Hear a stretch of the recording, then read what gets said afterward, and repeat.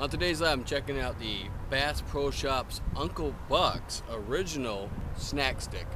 Be right back.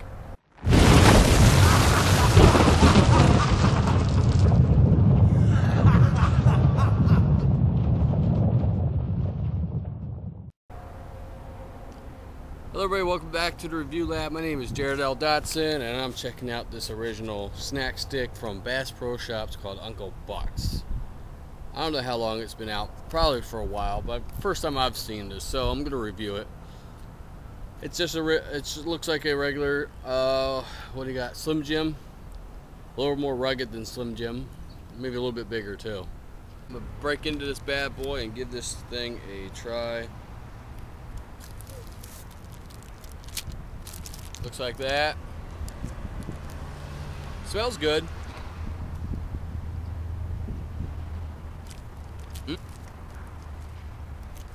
It's actually pretty decent. Has a nice flavor. They don't go too crazy with the pepper.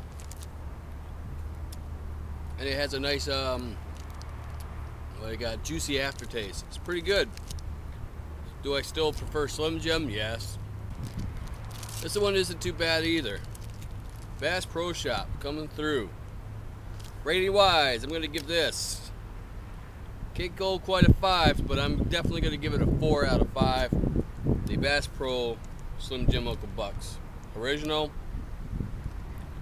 Good on you guys. Good stuff. Alright, this has been a review lab for the Bass Pro Original Uncle Bucks Slim Jim. Until next time, thumbs me up, comment down below, subscribe, more videos on the way. And as always, remember to record life and review everything.